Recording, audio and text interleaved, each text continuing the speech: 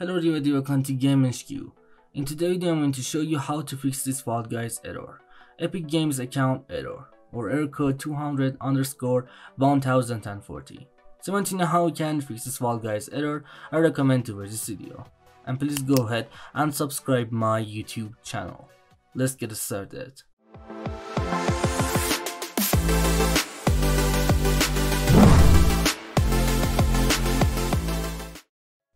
Okay guys, to fix Fall Guys Epic Games account error, first of all just go ahead and open up Epic Games Launcher. Then click on Library. And then just go ahead and click on these three dots on right over here. And then click on Manage. And now just go ahead and click on Verify on right over here. And all you have to do is just go ahead and verify files. Because sometime uh, this error pops up because of your Fall Guys files. So just go ahead and verify your files. And then just go ahead and type control panel on right over here. Just go ahead and type control panel on search box. And then open up control panel. Then click on network and internet. And then click on network and sharing center. And now just go ahead and click on your internet connection from here. Then click on properties then select Internet Protocol version 4 or IPv4 from here and then just go down and click on Properties. Now just go ahead and check this option. Use the following DNS server.